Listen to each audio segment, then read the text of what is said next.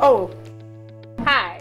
I'm your host, Jordan Rivers, and you're watching Turn the Pages.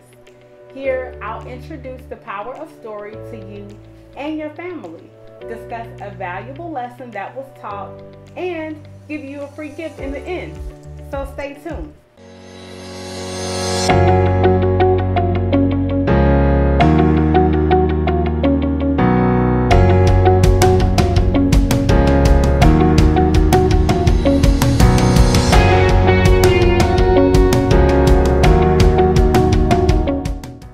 Today, I'm reviewing B is for Breathe by Dr. Melissa Munro Boyd. Have you ever been fussy or frustrated? Did someone say something that you didn't like? Or even took your pretty pencil off of your desk without asking? How did you react? Were you fussy and frustrated? Maybe even ready to scream or worse? Well, Dr. Boyd found a way to teach children as well as adults how to cope with our feelings from A through Z.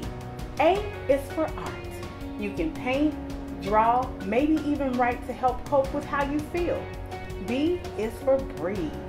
Take a deep breath through your nose and slowly breathe out through your mouth. Now, if you want to learn 24 more ways to cope with your feelings, then you'll have to add the book on your shelf and turn the pages to see for yourself. Now, every book has a lesson.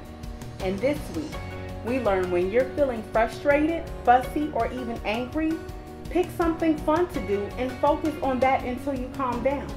Remember, it's okay to express your feelings, but you want to make sure that people understand why you feel the way that you do. So you have to be calm.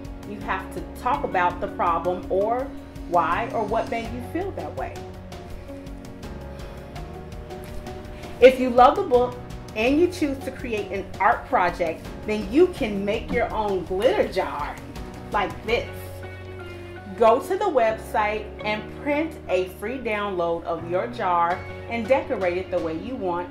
But wait a minute, that's not all.